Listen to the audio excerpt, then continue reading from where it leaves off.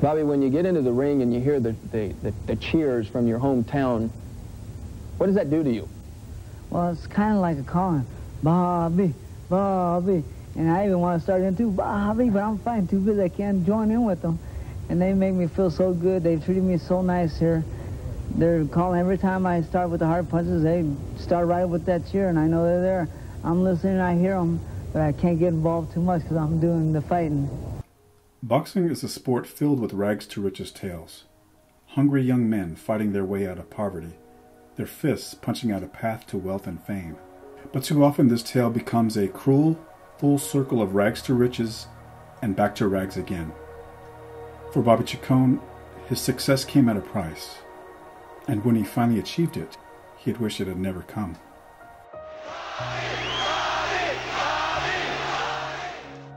Bobby Chacon was the eldest of seven children living in tract housing in Sylmar, California.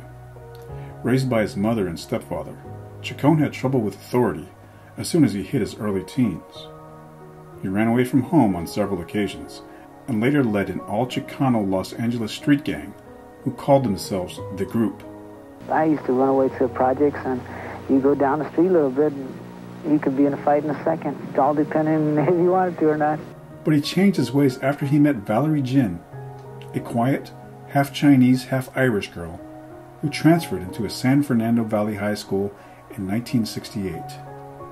The two became inseparable and after high school began planning their life together.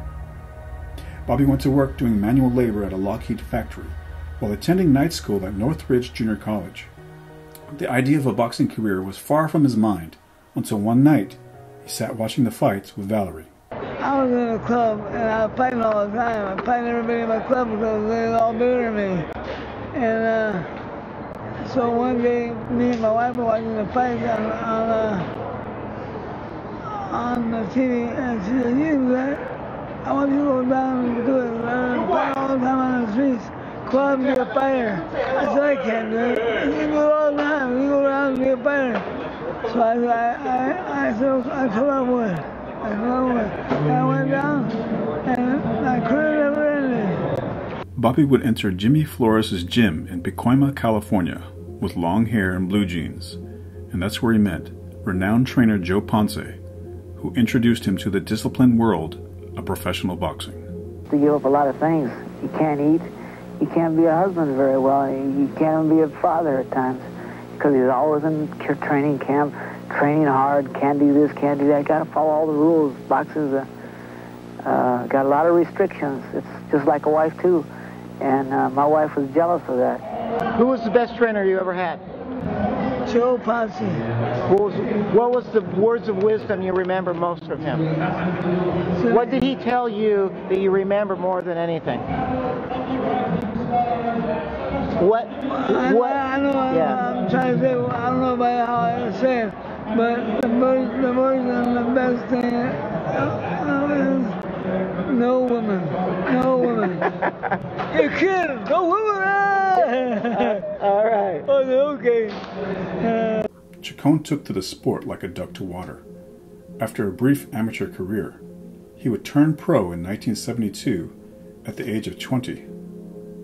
After only a year in the sport, Chacon would win 15 straight fights before taking on former bantamweight champion Chucho Castillo in his first test that he passed with flying colors. Now nicknamed the schoolboy because his promoter found out he was taking classes at the junior college, Chacon was matched with the legendary Ruben El Puas Olivares. But the schoolboy wasn't quite ready to take on the master and took a sustained beating before being stopped in the ninth round. Tell us about your fights with Ruben Olivares. oh, that, that man was uh, Mr. Mr. Know-it-all. He showed me how to fight, and that, that was one of the reasons I fought four times. And the first time, I, I said, where, where, where, where, where, where, I looked for all the time,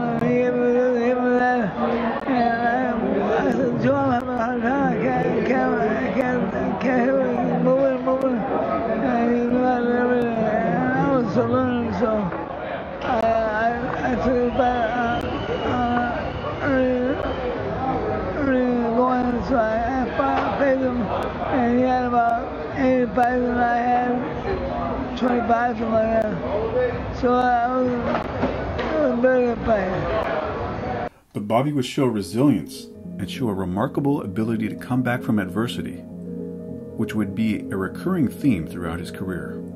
Chacon would be matched with fellow Los Angeles prospect Danny Little Red Lopez, who sported a record of 23 wins, no losses, with 22 of those wins coming by knockout. Over 16,000 fans would show up to witness an epic seesaw battle of wills. Bobby Chacon. People didn't know me because I was fighting for the Forum and Danny was fighting at the Olympic all the time. When we fought, they favored Danny because they had seen him more and they hadn't seen me. And then once I beat him, uh, things just took off.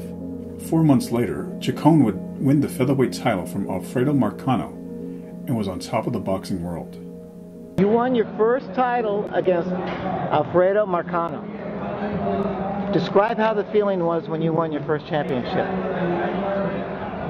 It's the last thing I win. I love it. I'm a, I'm a featherweight champion of the world. And I, I mean, I'm the only man in the world who's a featherweight champion. I'm a champion. I feel great. Never better. Never better.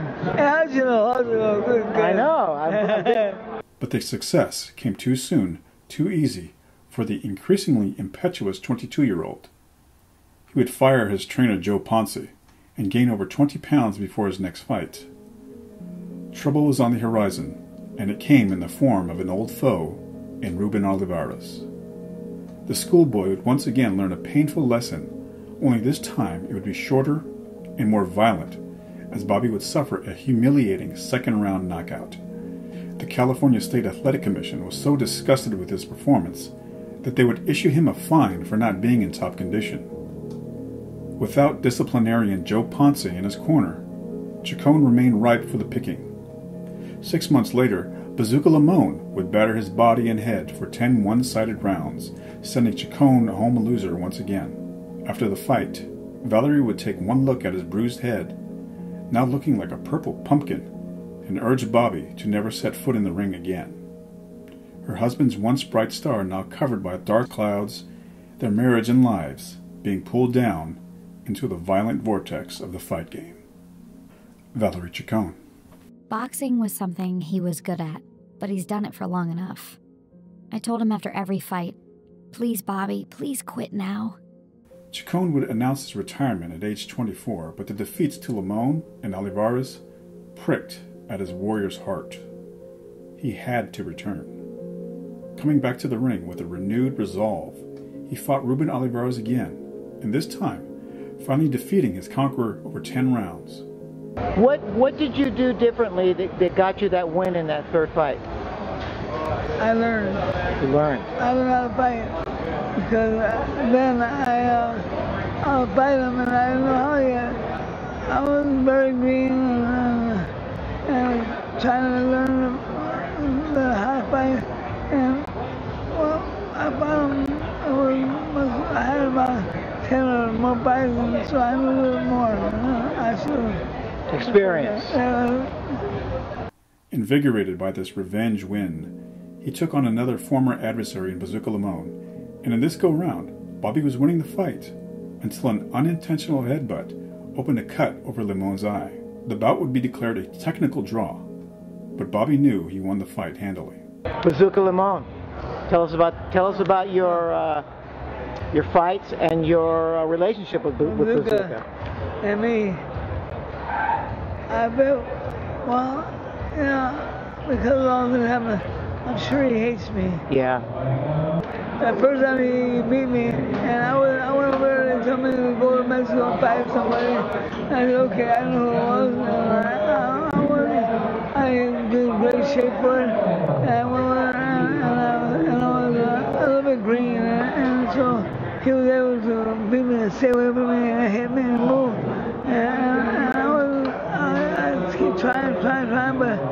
couldn't catch him. I couldn't catch him. And uh, so that, that was, uh, it went all the way.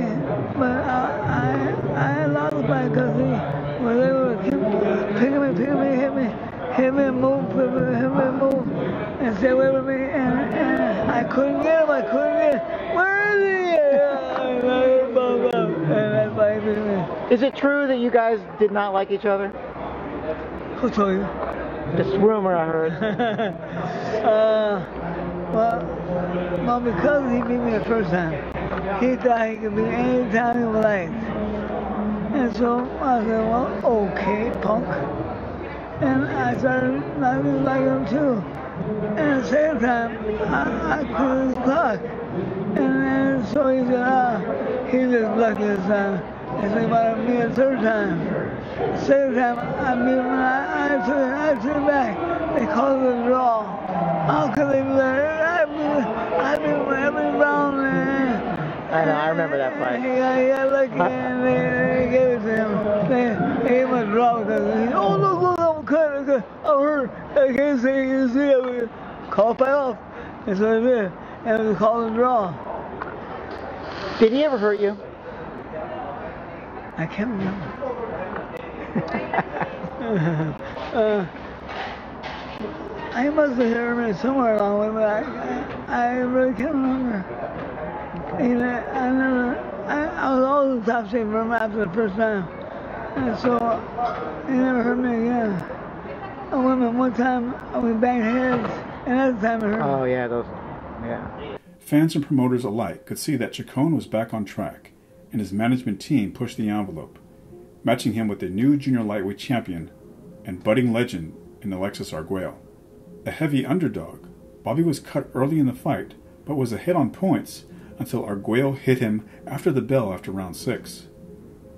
Dazed, Bobby was now an easy target for Arguello's hammer-like right crosses, and the fight was stopped between rounds. After these bouts, Chacon had accumulated enough in ring earnings to indulge in a lavish lifestyle. He purchased horses, Rolls Royces, and for this all too brief moment in time, Bobby finally defeated the poverty of his past life. Another rumor I heard. You lived a high life.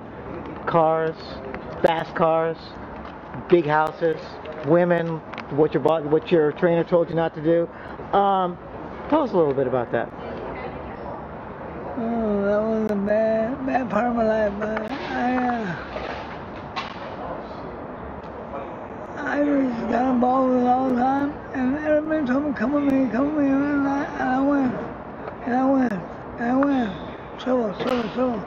Everywhere I went, I, I couldn't stop, stay away from it, because I was having fun here, fun there, fun there, and everybody was having a good time with me.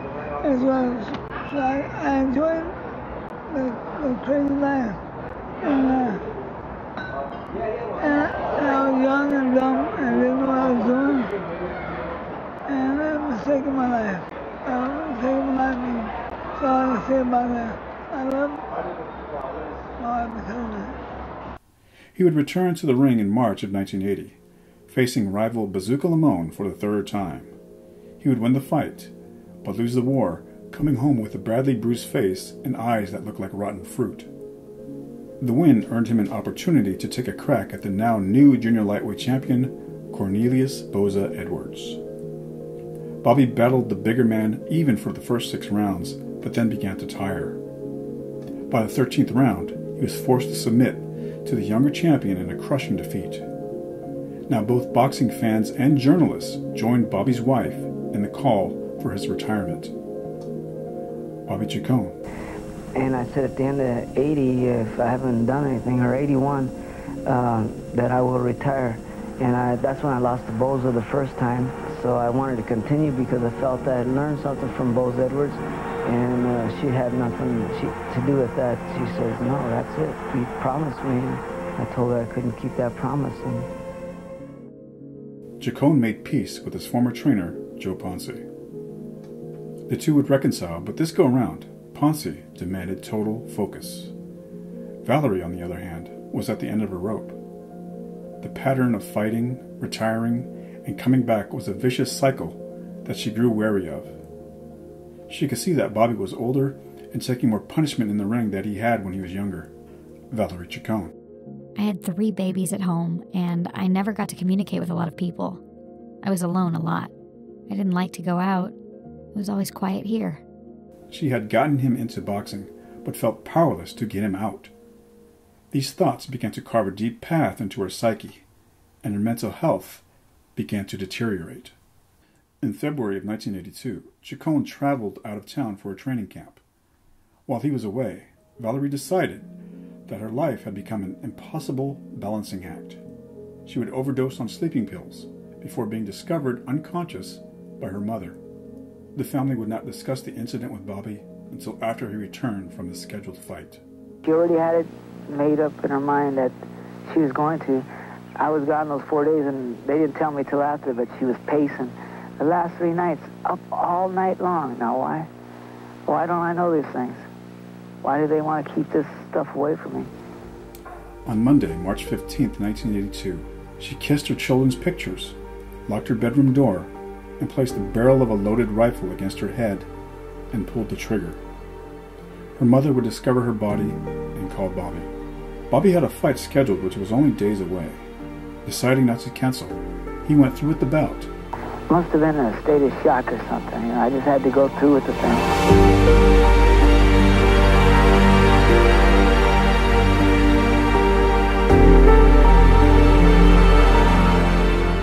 It just gave me courage.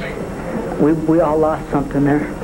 We'll, we'll all miss her for a long, long time. Amen. Maybe we'll catch up with her someday. Bobby would channel his grief into his boxing career, and after his wife's death, he would fight like a man possessed.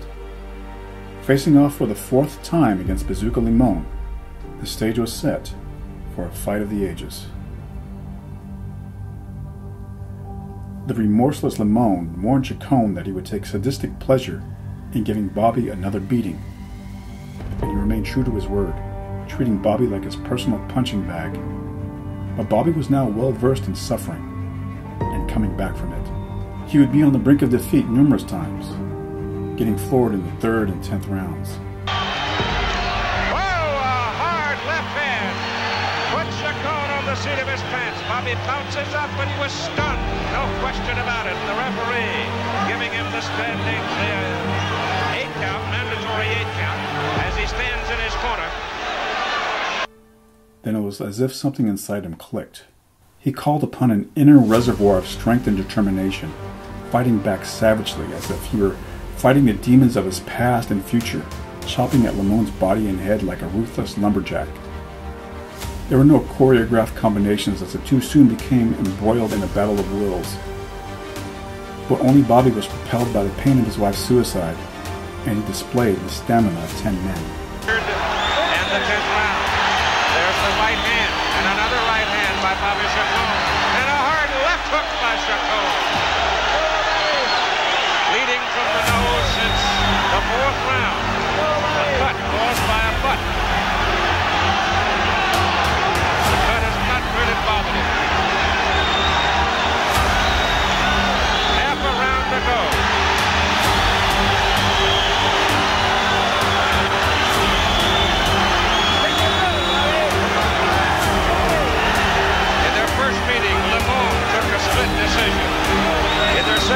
Second a technical seven-round draw.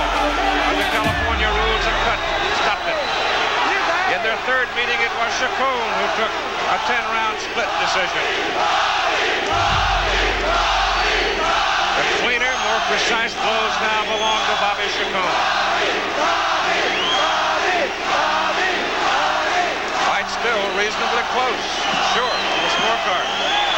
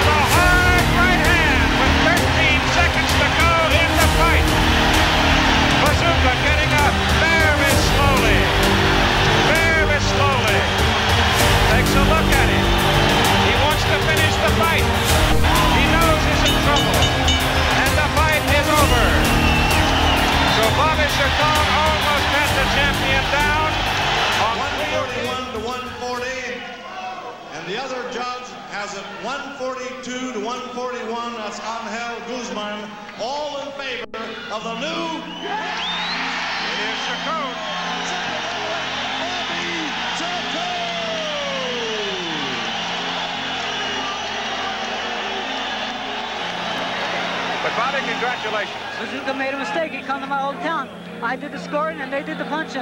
Oh, don't talk to me about punching. I've never seen anybody throw so many punches in my life. Oh, I got shape. Here I am, 31 years old. How can a person that old throw that many punches? I just wanted that thing. 22 years old and I threw it away. I had to get it again. And then uh, this is dedicated to my wife. She couldn't wait for me. I'm told, Bobby, that you've gone through the toughest training period of your entire life for this one. Well, yeah, I went to LA to be with my, my trainer, Joe Ponce. I knew he'd get me in, tro- in training. I couldn't do it here. There's no southpaws. And I just had to get in shape for this. And Bazooka and me fought three times, and he has gotten better. No doubt. I thought you were going to get him back in the 13th. Well, that just proves where his heart has grown. He's fought some good fighters. I hit him like that before, and he was looking for a hiding place. I hit him like that tonight, and he didn't care. He was coming right back. He shook it off and came back. The cut came from the butt, did it? The head butt Oh, we round? bumped heads a few times. Uh, it must have. I really didn't say that was a butt. I wasn't going to say stop the fight. I'm a, Yeah. you know, like he did that second time. But Bobby, you're the toughest guy I've ever seen. Congratulations. damn it, I want to win. Okay. okay, Thank you baby. Good to see you. Legal wrangling would strip Bobby of his hard earned title as he opted not to defend against the up and coming Hector Camacho. Instead, he was offered more money by facing his former conqueror, Boza Edwards, once again. And once again, Bobby would take part in one of the most fearsome battles in boxing history. I'm looking to uh, a technical fight. This time it's going to be a completely different fight because I've been doing some revisions on the previous fight we had before, and um, to my knowledge, it's not going to be a hard fight. You know, when you got two bombers in there, people expect the, the fight to, to end real quickly, but the, I think he's very durable, and I think I've proven that I can take a punch or two myself. If we get hit, uh, we know how to take them, we know how to come back, and we're both in condition, so I think you're going to see a good 12-round fight. Chacon started fast, darting in and out like a world class fencer, whipping lead right into Boza's body like a striking cobra. He took the early lead, flooring Boza in each of the first two rounds. In the third, however, Chacon went down and began to bleed over both eyes. Twice the bout was called, and doctors were called in to look at Chacon's eyes. Each time, he pleaded with the doctor, just one more round. With blood running into his eyes, Chacon once again fought like a man seeking restitution for his wife's death. He charged forward in a frenzied search for redemption, fighting through a red blur of blood in his opponent's fists, punching like a man chopping down a tree until finally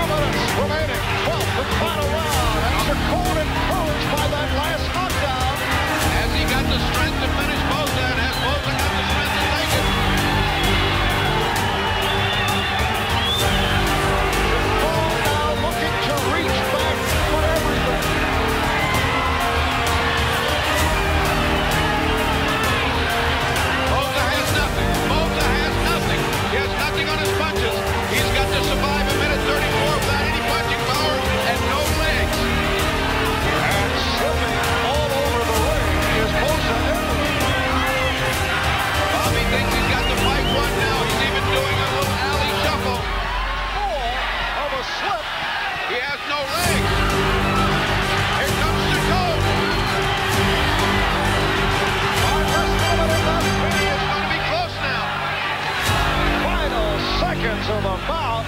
And what a nutty performance by Bobby Chacon. Judge Dave Moretti scores 117, 111 for the winner and still super featherweight champion of the world, Bobby Chacon. What about Cornelius Boza Edwards? Cornelius Boza Tell us about those fights. Well, he, was- he was very strong and big. He was big. Uh, and the was up there. and he goes, I'll show you. Hey, he tried, he tried to keep me away with that, that big long right, right to me. He faced me this way, I, not this way. I, I would have this way. He was right, he was right left hand. And I said, okay, and let me try. And so I had a hard time facing him the first time. What were you thinking? Last round, second fight. You had to knock him down to win. What were you thinking going into that last round? I'm in good shape and I'm gonna go out and do my best this round.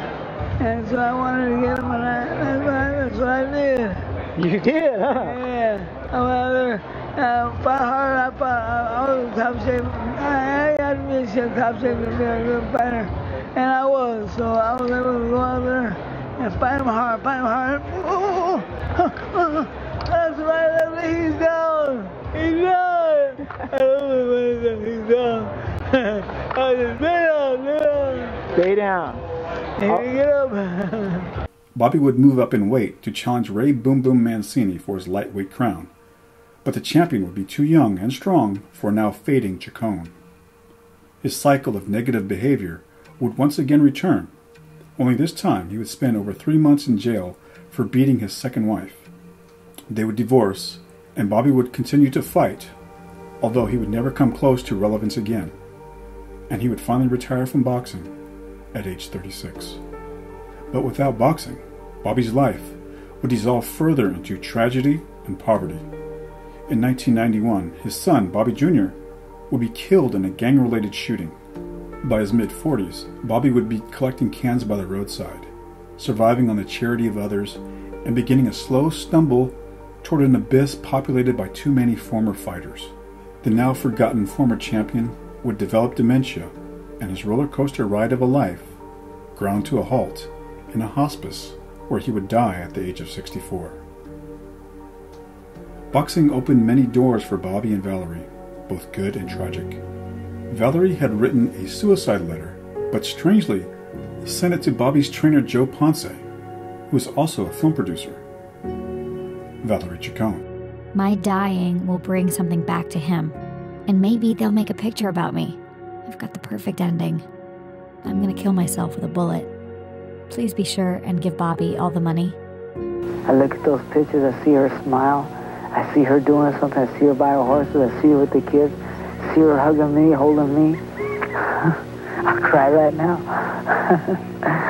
so much I miss her.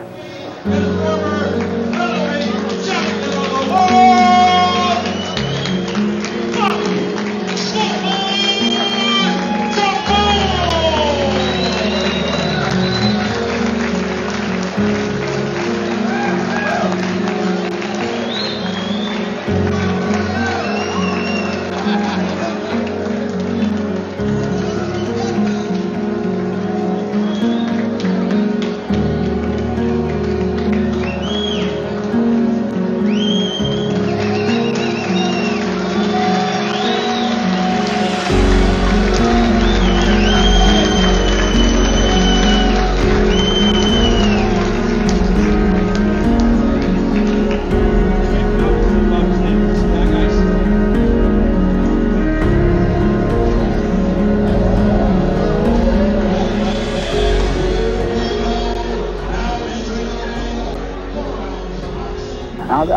because I hope, hope I can help and uh, with my own problems. I never thought things like this would happen to me, but they have, so they can happen to you too. Be careful. Be careful what you do in, in your everyday life, you know. Don't take everything for granted like I did. I was sure Valerie was with me forever.